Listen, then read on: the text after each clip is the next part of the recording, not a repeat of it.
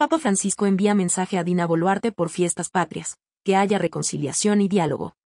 El Papa Francisco envió un mensaje de felicitación a la presidenta Dina Boluarte y al país con motivo de las fiestas patrias, expresando sus deseos de diálogo y reconciliación para el Perú. El Papa Francisco envió una carta a la presidenta Dina Boluarte en vísperas de fiestas patrias. En el documento, el sumo pontífice expresó su deseo de que en el país haya más unión, destacando la importancia del diálogo y la reconciliación. Con motivo de la Fiesta Nacional de Perú, deseo felicitar a vuestra excelencia y, asimismo, a todos los habitantes de ese querido país, se lee al inicio del documento remitido desde Ciudad del Vaticano. Hago votos para que, por intercesión de Nuestra Señora de la Merced, el Señor Jesús les conceda que el diálogo nacional contribuya a la reconciliación, agregó. Finalmente, en el mensaje también extiende sus esperanzas para que el Perú avance hacia una sociedad más unida, próspera y fraterna. La carta, dirigida a la jefa de Estado, fue recibida este sábado, 27 de julio. El pasado 23 de julio, durante la ceremonia por el 83 aniversario de la inmolación del capitán José Abelardo Quiñones y el Día de la Fuerza Aérea del Perú, FAP, Dina Boluarte reafirmó su intención de permanecer en el poder hasta el 28 de julio de 2026.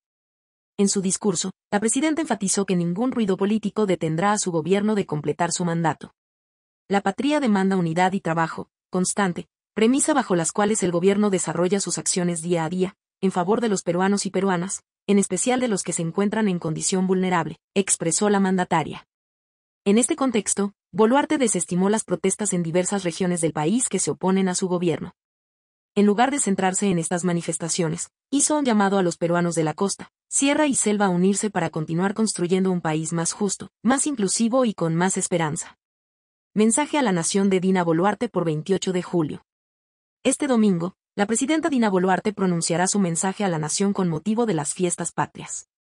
Según el cronograma oficial del Ministerio de Relaciones Exteriores, el discurso está programado para antes del mediodía, durante la sesión solemne en el Congreso de la República.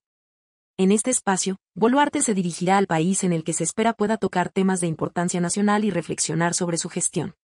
El politólogo Luis Fernando Núñez ha adelantado que la lucha contra la inseguridad ciudadana será probablemente un tema central del discurso no le sugiere que una estrategia clara en este ámbito podría fomentar la inversión empresarial en el Perú. Pese a que Boluarte mencionó la seguridad ciudadana en su discurso anterior, las cifras de criminalidad no han disminuido significativamente. Además, la inestabilidad en el Ministerio del Interior, con seis ministros durante su gestión, ha sido un desafío constante.